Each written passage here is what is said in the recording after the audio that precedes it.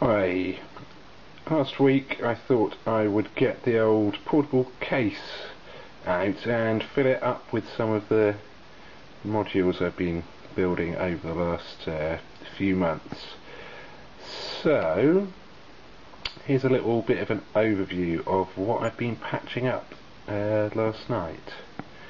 We've got a couple of voices running up along the top uh, with oscillators, oscillators down there, a couple of envelopes, and then the oscillators pass through things like wavefolder, filter, uh, dual low pass gate, a little bit of delay, and out from the stereo output mixer.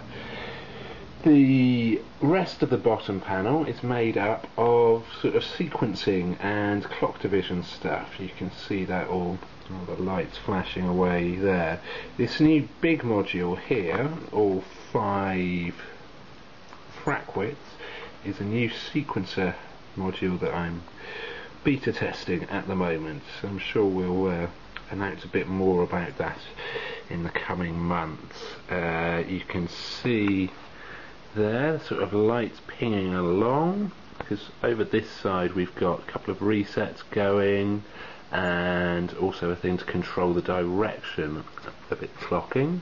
Uh, outputs, gate outputs, CV outputs, and that's clocking all these binary divisions and normal divisions, bit of logic, and that's combining it to trigger things like the envelopes and other sort of stuff.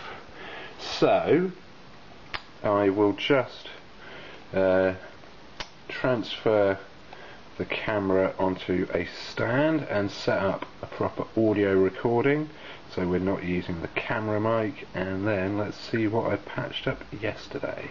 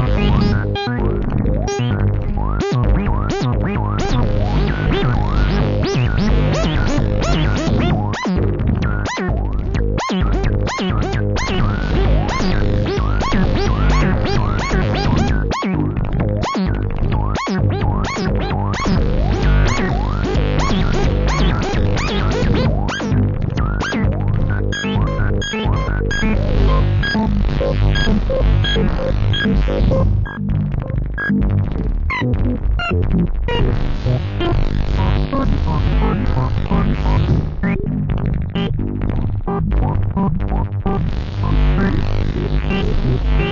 you.